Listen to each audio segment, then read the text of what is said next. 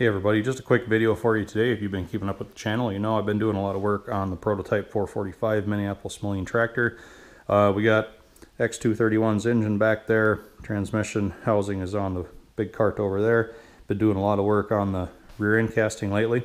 But I want to do just a quick walk around of the front steering bolster. Um, this is another piece that's going to need a lot of help. It's a casting I would really like to use because it also has a prototype 10X casting number on it. Looks like 5269. Um, laid out much like a production 445 piece would have been. It has the power steering unit in the front cylinder. Um, it's cut out here for the front crank pulley. This one's kind of unique in the fact that they have a little V notch cut into it where the fan belt would go, whereas a production one just has a bump out right here.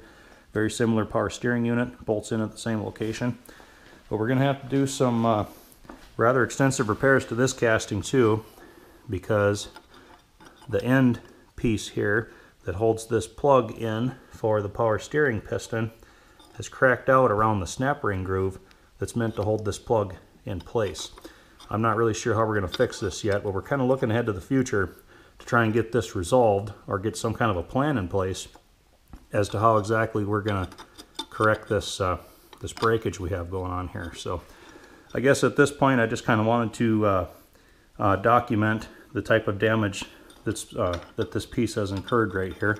And also I'll just throw it out there if anybody has any ideas, suggestions, or possible routes we could take to uh, try and correct this sort of breakage right here and hopefully again retain this end cap so that the power steering system might work again.